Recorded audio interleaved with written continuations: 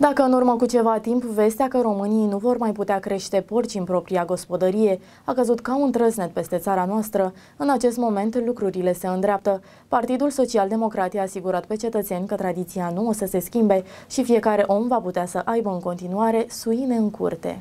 Noua lege a porcului aflată încă în dezbatere parlamentară încearcă să reglementeze numărul de animale crescute în gospodăria individuală, conform reglementărilor sanitare, dar și fiscale din Uniunea Europeană. Strict care nu se poate lua, e un drept al omului, un drept pe care Dumnezeu ni l-a dat și nimeni nu ne poate lua, decât Dumnezeu.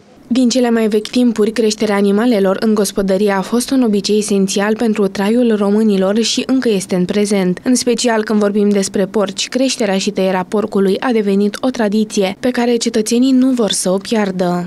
Cât de important este pentru români să-și poată crește în continuare porci în gospodărie? E foarte important să ai un porc, porc în gospodărie care are și gustul nu găsești o râcă la, să pui la, și să-l mănânci, să-l consumi și să pui și la piftie. Și oricât, da, care, pune o bucățică mică de carne ala la capac într-o crăticioară sau în ceaun, cum să faci, dar nu ai porc de Crăciun, nu ai cu ce să trăiești.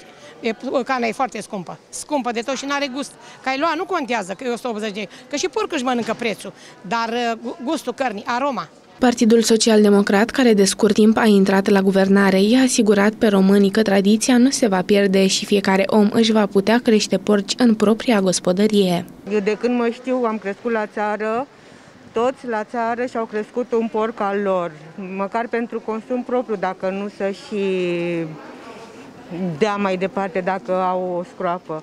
Eu zic că este necesar să se lase în continuare să-și crească țăranul porcul acasă la el sărbătoare de Crăciun fără să-și taie țăranul porcul acasă, nu este la fel ca în trecut. Îi asigurăm totuși pe români că vor putea să crească și să reproducă în continuare porci în gospodărie. Acest lucru face parte din tradiția noastră și nu are cum să se schimbe. Prin urmare, PSD va avea grijă ca forma finală a legii care va ieși de la Camera Deputaților, care este for decizional, să prevadă că gospodarii români pot crește porci în gospodărie, dar și măsuri adecvate care să oprească sau măcar să reducă pesta porcină și astfel să protejeze industria, marile ferme românești de creștere a porcilor, a declarat senatorul PSD Felix Troie pe pagina sa de Facebook.